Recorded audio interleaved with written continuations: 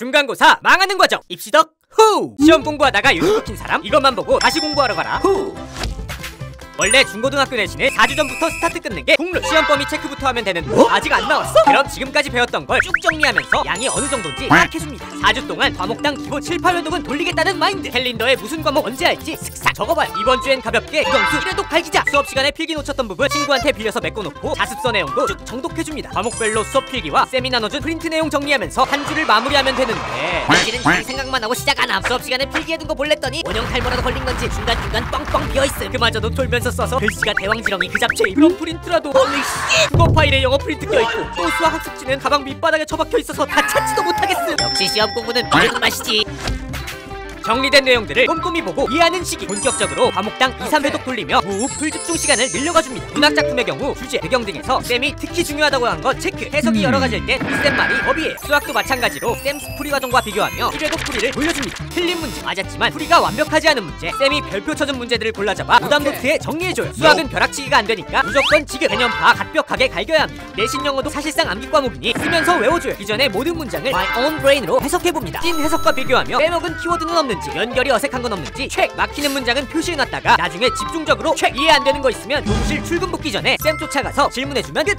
개뿔 이제서야 시험 기간 체감돼서 스카 가려는데 혼자 가기 심심하니까 스카 go! 애들부터 불러 모음! 계획대로라면 지난주에 정리해둔 거 보면서 빡공해야 하는데 현실은 이제 정리 시작임! 아직 시험 범위 안 나온 과목도 있고 스카에도 처자거나 혼나는 애들이 한 바가지라 공부할 맛안 남 점심 때 친구의 코노고 한마디에 가둬두고 알아가면 달기 암기와 문제풀이를 꽉 잡아야 할 때죠. 암기 과목은 단권화 노트를 만들어줍니다. 만들기 전에 이렇게 종이에 쭉 적으면서 1차로 외워줘요. 쓰면서 공부하면 손가락이 흐물해지는 만큼 기억이 오래가니까요. 평가 문제집, 시험 대비 문제집까지 자작 풀어주면 시험에 어떤 유형이 나와도 inner peace를 유지할 수 있죠. 문제집은 괜히 어려운 거 풀지 말고 내 수준에 맞춰 여러 유형의 문제를 많이 풀어주면 실력 후 2주밖에 안 남았으니 진짜 공부 좀 해야겠다 싶음. 냅다 문제나 풀려고 책을 펼쳤는데 머리에 든 게 없으니 문제가 풀릴 리 없음. 아, 그럼 단권화? 뭐 그거부터 만들어야 되겠다. 대충 내용 옮겨 적으면 되겠지? 아 뭔가 허전한 데 금방 괜히 없잖아. 오늘은 아트박스나 가야겠다.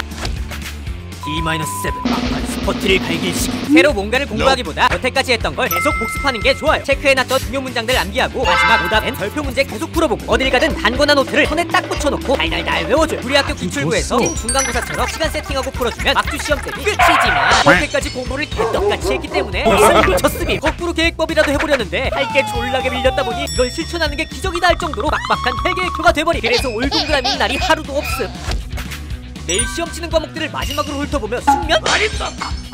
제대로 해둔 게 1도 없기 때문에 나의 밤은 당신네들의 낮보다 졸라게 길 예정이 막상 새벽까지 공부했더니 눈꺼풀이 천근 만근임. 역시 공부는 맑은 정신이지. 한 시간만 자고 일어나서 공부하기로 함. 그렇게 다음 날이 되었다. 구독해라. 후! 여기까지다. 공부하러 가라의 속. 그럼 구독하시고 시험공 화이팅해요 여러분. bye